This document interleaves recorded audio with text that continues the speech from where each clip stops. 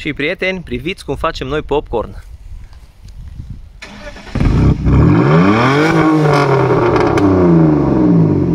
Popcorn, frate! Salutare, prieteni, din nou la garaj. Suntem împreună cu mașina de proiect, dar pe când să ne apropiem de final cu proiectul, au apărut și problemele.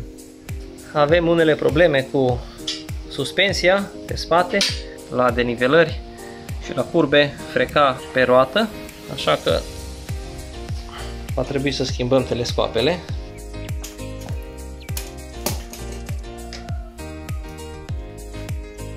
Am început să dăm roțile jos pentru a avea acces la telescoape.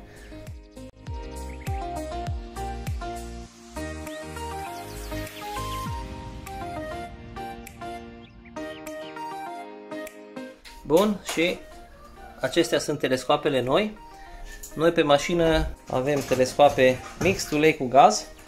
Avem probleme pentru că freacă destul de tare apărătoarea pe roți la denivelări. De aceea ne-am hotărât să le schimbăm. Am luat altele care sunt pe gaz. Sunt mult mai rigide, mult mai dure, de la firma Zax.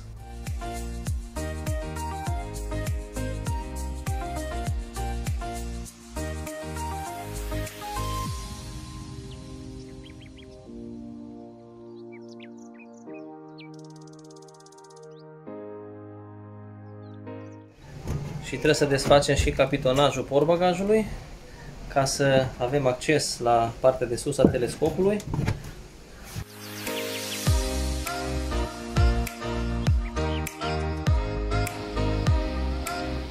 Bun, ăsta e telescopul care urmează să fie înlocuit. Bun. Cel vechi și cel nou. Cele noi sunt mai rigide, mai dure, varianta sport Hai să vedem. Facem treabă cu ele sau nu?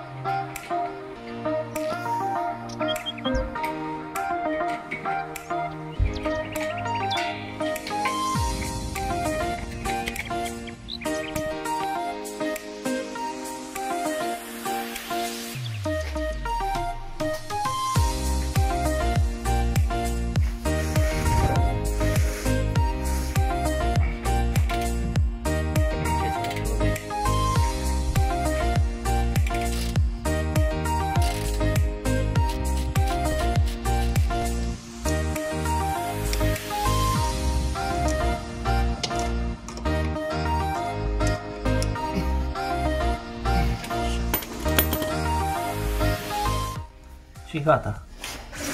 Și cel de-al doilea telescop este la locul lui, este strâns. Hai să vedem ce am rezolvat.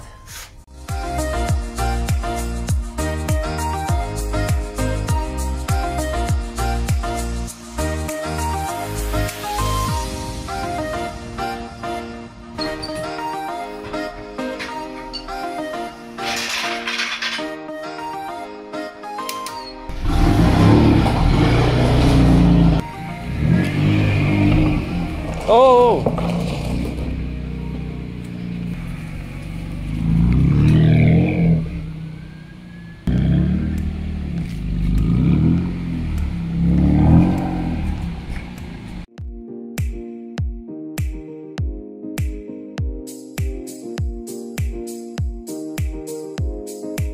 Bun, și-am schimbat și telescoapele.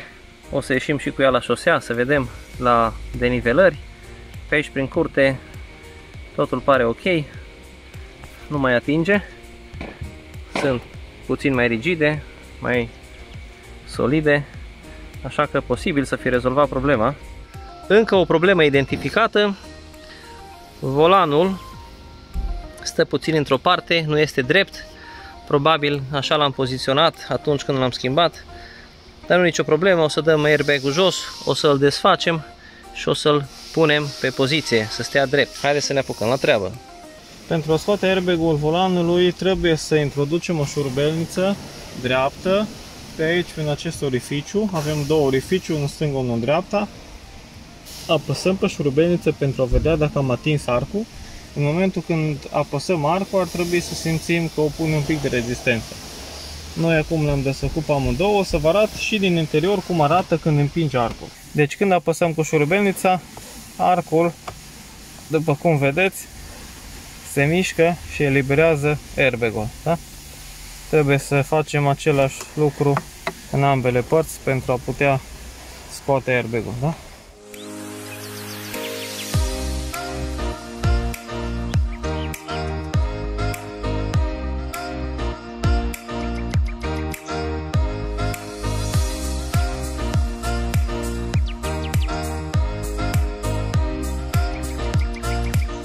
Și am reglat volanul pe poziție. Din volanul strâmb l-am făcut volanul drept. Sau invers. ok. Nu rămâne decât să împingem airbag-ul la locul lui și totul este perfect. Am rezolvat și problema volanului strâmb.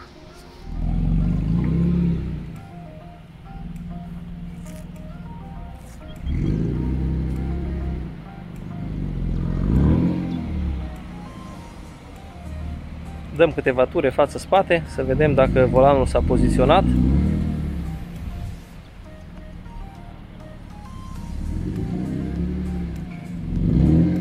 Bun.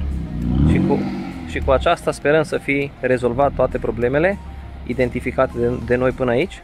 Bun, și în videoclipul cu schimbarea navigației pe BMW am primit și critici din partea abonaților un abonat ne-a criticat în legătură cu nuca la schimbătorul de viteze că arată oribil.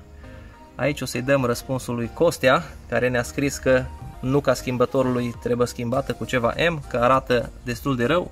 Îi dăm dreptate, într-adevăr arată rău. Hai să o schimbăm. Bun, și să vă arătăm cum se scoate o nucă la un BMW 46 Coupe.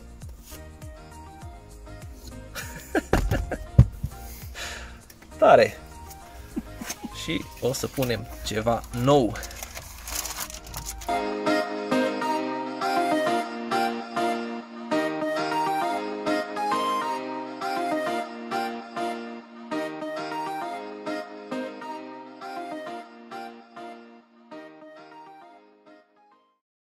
Dragă Costea, ți-am îndeplinit dorința, am schimbat și nuca la schimbător, sper să fii mulțumit. Noi suntem.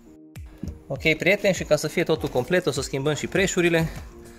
Luăm cele vechi, sunt destul de uzate, jos. Și o să punem altele de cauciuc, negre. Sunt mult mai practice și mult mai ok.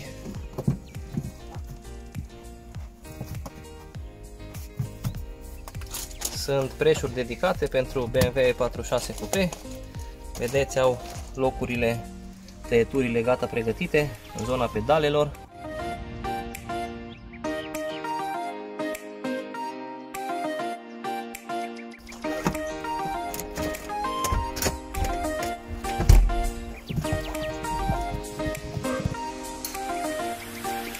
Ok, prieteni, și cam acestea au fost și modificările pe ziua de astăzi. Urmează să-i facem un detailing interior, un detailing exterior și ne apropiem de final cu proiectul nostru.